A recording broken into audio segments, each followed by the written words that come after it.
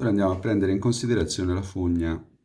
che arriva via Primo Maggio. Allora, la fogna che arriva via Primo Maggio prende con un'entrata di 40 anche eh, l'acqua che arriva dal Rio dei Bossoli, che in parte va, segue via dell'agricoltura, in parte entra dentro qui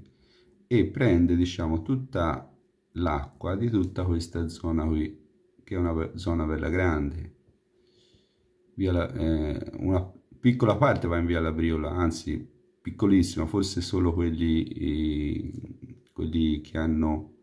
che hanno i magazzini i, che hanno i magazzini nei pressi della strada. Tutto il resto, tutte le altre strade vengono,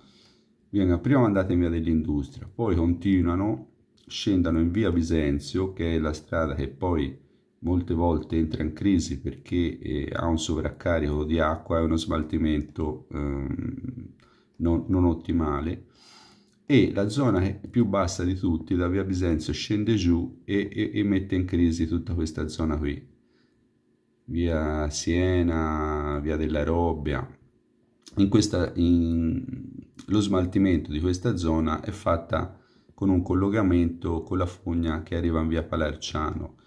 da via Palerciano arriva anche la fogna eh, di qua, ci sono due fogne, una di qua e una di là, però la parte di via dei Bossoli, che arriva dal Rio dei Bossoli,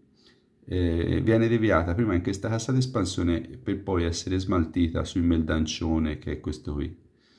Eh, qui c'è solo una sala cinesca tarata che attualmente non butta niente perché è chiusa, però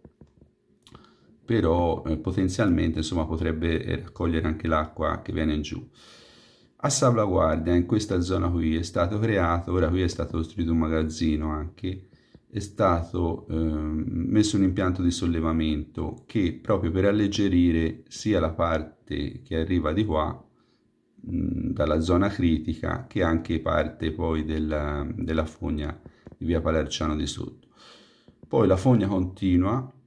va ancora diritto, eh, entra, la fogna dopo entra in quella di via Primo Maggio, quella di via Primo Maggio, cioè la fogna continua diritto, prende tutta l'acqua di via Primo Maggio e l'acqua di via Primo Maggio prende anche tutta l'acqua di tutta questa zona qui e questa zona qui, per cui vedete prende tantissima acqua e qui attraversa il campo e si innesta nella direttrice di 120 che è quella che poi va, eh, segue questa strada, prende qui e va nel Calicino.